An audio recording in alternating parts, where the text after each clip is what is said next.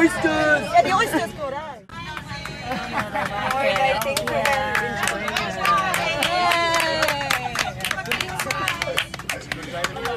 How are the oysters? Yeah, the oyster's good, eh?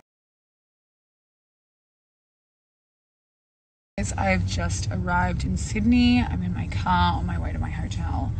And I thought I'd hop on here because I had a pretty traumatic flight experience. Thanks, Jetstar. You uh, never cease to amaze me. On here because obviously I had a lot of followers on that plane for some weird reason.